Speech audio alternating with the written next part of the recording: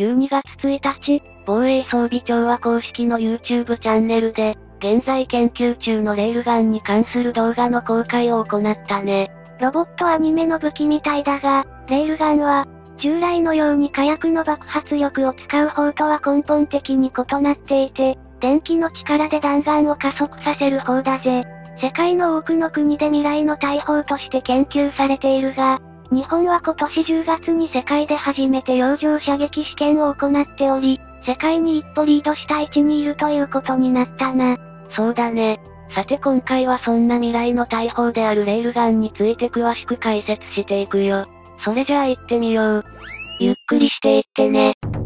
レールガンの研究の担当部門である陸上装備研究所を訪問し、開発の現状や、想定される用途などについて話を聞いてきたんだけど、まずは未来の大砲イコールレールガンの基本的な能力について確認していくよ。前述の通り、電気の力つまり電磁気力によって弾丸を打ち出す大砲で、試験中のものは砲の全長が約6メートル、砲口径は 40mm 四方ということだから、砲の大きさに比べると弾がとても小さいと感じられるよね。6メートルと4ミリメートルだから、およそ1500倍ということになるよな。同サイズの火薬式火砲と比較してみると、陸自で最多使用されている榴弾砲は砲身長約6メートル、口径 155mm であり、海事の最上型護衛艦などに搭載されている艦載用単装砲は砲身長約7メートル、口径 127mm となっていて、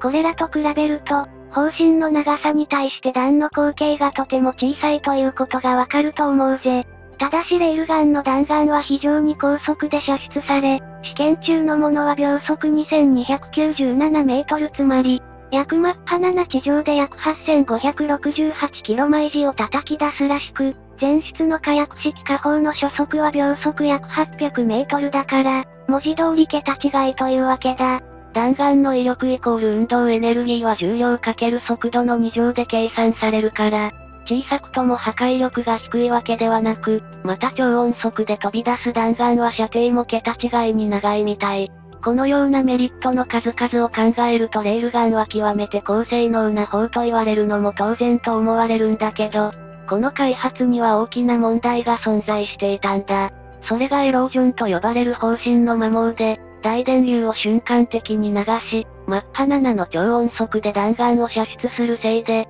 電流による加熱が生じ方針内部が激しく削られてしまう現象だね。要するに素材が劣化するということで、エロージョンが発生すれば、レールガンの動きにも悪影響が出てくることは容易に予想がつくはずだな。ちなみにアメリカ海軍が2021年にレールガンの開発を事実上中止した理由の一つがエロージョン問題だったとも言われていて、アメリカが開発をキャンセルした兵器を日本が開発に成功したということになるぜ。アメリカはこれを知ってどう感じたのかも気になるところだね。では、日本は、この問題にどう取り組んだのかって部分だけど、レール方針の素材変更と電流の流し方を変更することで、エロージョン問題を克服したという話だよ。素材変更だけど、これまでは導電性や加工がしやすい理由から主に銅を素材として使っていたものを、導電性が高くしかも摩耗に強い素材に変更したんだ。電流の流し方については、瞬間的に大きな電流が加わらないように工夫したみたいで、この変更によって、日本のレールガンは秒速2000メートル以上の弾丸を120発まで発射することに成功したよ。この発射後に方針を確認したところ、目立った損傷は全然なかったということで、変更は見事に成功したということになるね。では日本はレールガンをどんな用途に使うつもりなのかという部分だけど、防衛装備庁の動画では、車載型や艦載型が敵艦艇を攻撃する様子や、落下してくるミサイルを迎撃する様子が映っていたよ。公開された資料でも、対艦対空対極超音速ミサイルを将来構想として示しているが、こうした用途にはすでにミサイルという兵器が存在しており、ということは、どうやって差別化や役割分担をしていこうというのか、気になるよな。レールガンのメリットは、コストやサイズの利点が大きいことで、複雑なシステムで構成されたミサイルは、サイズも大きいし、第一効果。一方、レールガンの弾丸はミサイルより小さいし、値段も比べると安いらしい。小さいため大量の弾丸を持参できるし、大量使用も可能で、小さい弾丸はレーダーにも捕捉されにくく、迎撃されにくいということもメリットと考えられるわけだ。ただし、当然ミサイルにも長所はあり、長い射程、高精度な誘導能力があるのでピンポイント攻撃が可能といった点だぜ。だからミサイルとレールガンそれぞれのメリットを十分活用できるように、多層的な運用を考えていると見られるよね。現在は、1発ずつ単射することで技術的課題を解明するための試験を行っているようで、今後のスケジュールとしては連射や電源、弾丸の安定飛翔などの課題に取り組むとのことだったよ。単なる発射機から砲システムへ、より実用的な防衛装備品に近づけていくことを計画していると思われるな。動画で公開した現在の方も、そのまま実戦に耐えるようなレベルではなく、あくまでもレールガンの基礎技術を確立するための試作機ということで、最終的には運用目的やプラットフォーム車両や艦艇、または地上固定式などに合わせて、大きさや弾の口径も変化していくことになると予想されるぜ。では、実戦配備はいつになる見込みなのか、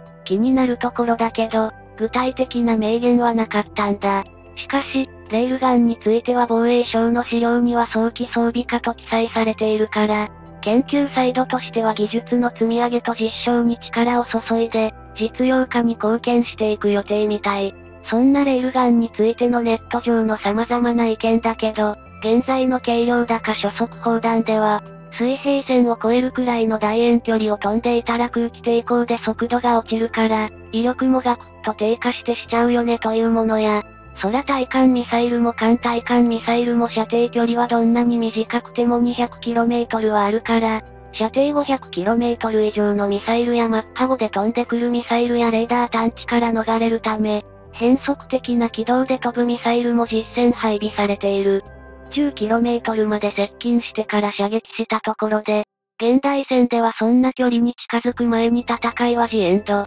との意見が見られたよ。他にも尖閣諸島や台湾を念頭に置いた海上戦闘では、沖縄や第五航空団基地より中国軍基地の方がはるかに近いから、大量のミサイルが飽和攻撃で使われることは簡単に予想できる。雨のようにミサイルが降り注ぐんじゃないか。艦隊にイージス艦があったとしても、防衛能力をはるかに凌駕しているミサイルを全部迎撃することは非常に難しいだろう。などの意見や、時速 8568km で射程200組む。ということは、射程限界の 200km 到達まで84秒かかるという計算になります。弾丸は推進力を持ってないから、84秒で 200km まで飛んでる間に重力の影響で3よろず 4500m も自由落下してしまうんですね。静止した大きなターゲット相手ならコンピュータに計算させて命中させることも可能でしょう。